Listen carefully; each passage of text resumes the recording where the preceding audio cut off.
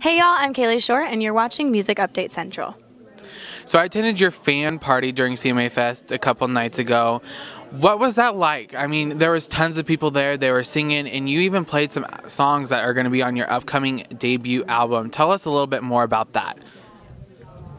So that was my fourth annual CMA fan club party and it's my favorite show I get to play all year. It's just like this big family comes together and I get to play like old songs and I took a poll of what songs um, people wanted to hear and there's this one song called Astronaut that has never been released. I've only played it like a handful of times at Song Suffragettes, but it's like my hardcore fan group's like favorite song, and they hadn't heard me play it live in like two years. So I was like, I have to play it, and um, it they loved it. It was so funny just to see them like singing along to such a random song, you know.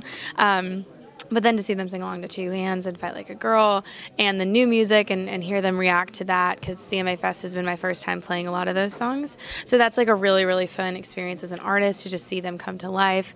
And, um, I did a meet and greet and I met everybody and got to give some hugs and got some really sweet gifts. Someone gave me a um, a Vans lunchbox and I love Vans. I have a line about them in uh, my song "Cool Kids" and they're just so thoughtful.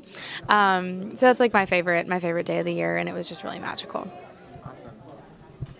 So you have a huge impact in CMA Fest. I mean, you're hosting the Radio Disney Country stage. You're all over during CMA Fest. What does it mean to you? I mean, look 5 years back and to be here today doing everything that you're doing. How does that make you feel? You know, I'm glad you asked this question because I haven't really kind of taken the moment to think about it yet. Um, but I five years ago, I played one show at CMA Fest, and I had such a good time. I was just so happy to be involved, and I was like in the green room, and I was like, "Oh my god, they have really good snacks!" Like that was like where I was at.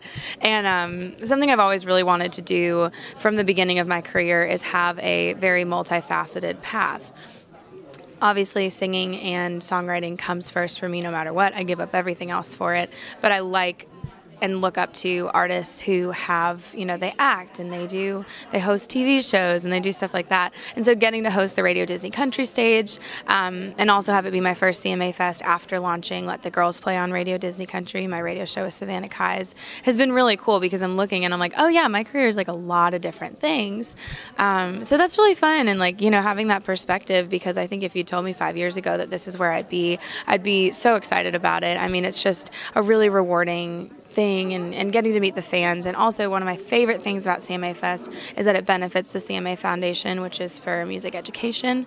I grew up in a really low income neighborhood and I didn't have a lot of access to instruments or, um, you know, lessons because my, my family just couldn't afford it. But my school put a really big emphasis on the arts. And so when I went to high school, we had a guitar class that you could take as your music elective. And so I took that, and we had about 25 guitars you could check out. So I was, you know, getting to try out nylon strings and, and all these things. Um, and it was really, really fun. And I'm so thankful, and not a lot of kids have access to programs like that. So I feel super thankful, but also I want to do everything I can to give back so that, you know, some kid in a town and anywhere USA can have that and might, you know, end up playing CMA Fest one day.